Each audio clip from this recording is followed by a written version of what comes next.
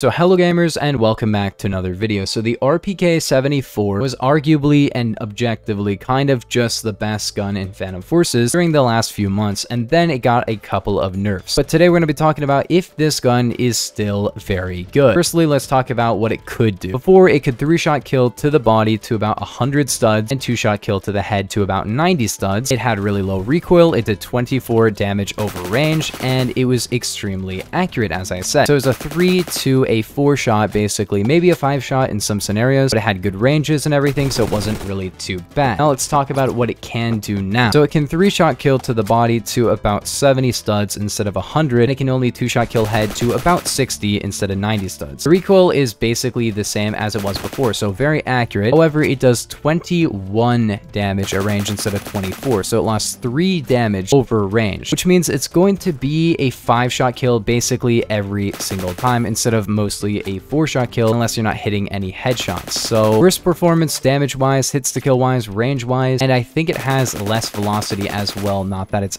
that big of a problem. The velocity is still really good. So is this gun still really good? I wouldn't say it's really the best gun in the game anymore. There are plenty of other guns that do pretty good. It still has 45 rounds. It still does really good close range damage, and the recoil is still pretty good. So yeah, I would say it's actually still a really, really good gun, but I would not say it's the best gun in the game. So so on that front, it's not going to be a winner anymore. But I'd still say it's really good, so I wouldn't really like recommend not using it or anything. If you have the gun, I really recommend it. It's just not as crazy as it was before. I really like it. It's still a really fun gun, and I really like how it sounds with the ARS suppressor. It will reduce your range and stuff, but like, who cares, dude? It sounds awesome. I would definitely recommend you go for more headshots now to actually improve that damage at longer ranges. And if you're going for basically only headshots, the three-shot kill range of it should be kind of similar to the old version the hits to kill should be pretty similar, and the damage over range should be about the same, you know, not as great. But yeah, if you guys did enjoy, make sure to like and subscribe.